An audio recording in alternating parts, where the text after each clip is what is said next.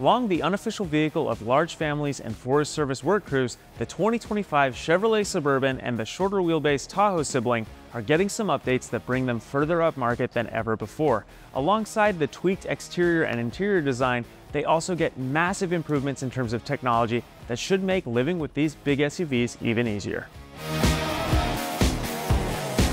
For more on the 2025 Chevrolet Tahoe and Suburban, click the link in the description for the full Motor1.com debut post. You should also subscribe to our YouTube channel while you're up there, and you can find us on all of your favorite social media. That's Facebook, Threads, Instagram, X, and TikTok to interact with us there.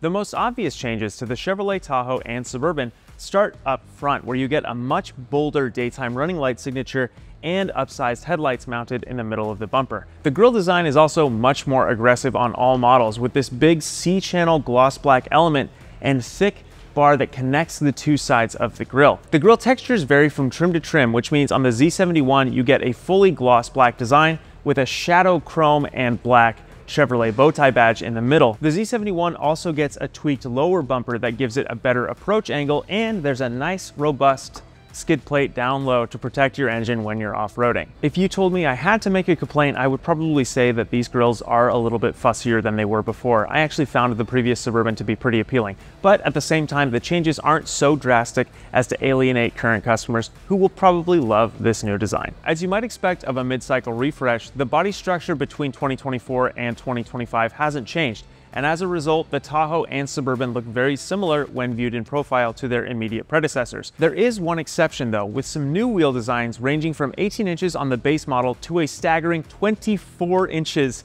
on the High Country and optional on the RST. They look absolutely phenomenal, and I think customers who want maximum posing will love checking that box. The stylistic alterations pick up again as you round the rear, where both the Suburban and the Tahoe have been tweaked to appear wider and more planted. That starts with this big gloss black trim panel that appears on every trim of the Tahoe and Suburban and extends into these taillights that have actually been inverted in their signature lighting appearance to make them appear more planted and wider. The rear bumper has also been reshaped slightly to fit round tailpipes on the LS, LT, Z71, and RST and square tailpipes on the High Country and Premier. In addition to the revised exterior, Chevrolet also made some thoughtful improvements to the Suburban and Tahoe's mechanics. For example, the torquey 3-liter Duramax inline 6 is now available on a wider variety of products, including the Z71. Chevrolet said that its customers wanted that off-road capability with the torque and fuel economy of the diesel, and the company obliged for 2025.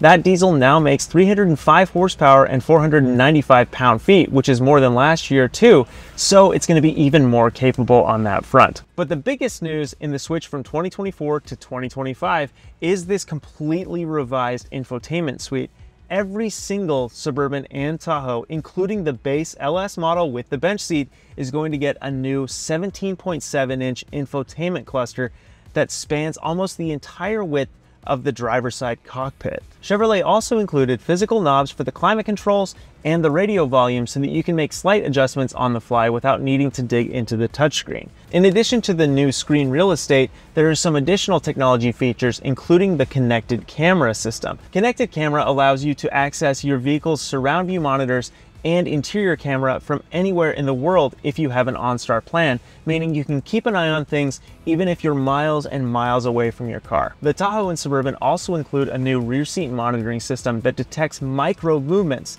that is heartbeat and breath rate, to tell you if you've accidentally left something in your car that maybe you shouldn't have, a dog or a baby or something like that. It's a great feature that's even more advanced than the typical rear seat alert systems used today. And speaking of safety, just about everything that you can get from Chevrolet is standard on the Suburban and Tahoe, including forward collision alert, automatic emergency braking, front and side pedestrian detection, and blind spot monitoring. Adaptive cruise control even comes standard, and if you need the absolute most, you can get Super Cruise as an option on the LT, RST, Premier, and High Country.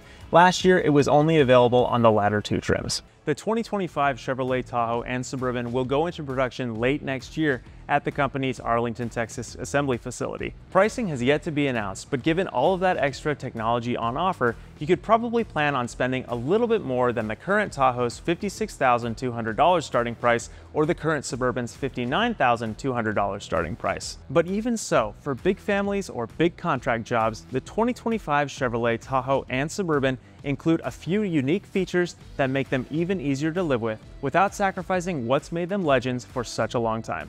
Thanks for watching.